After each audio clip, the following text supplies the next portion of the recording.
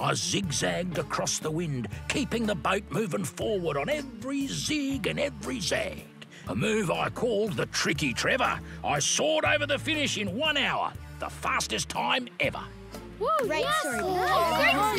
story. Wow, Grandpa, you've really inspired me Oh, that's nice, Frizzy. to beat the pants off your record. Huzzah! Huh? You what now? Time for another Frizzy Bear hunt.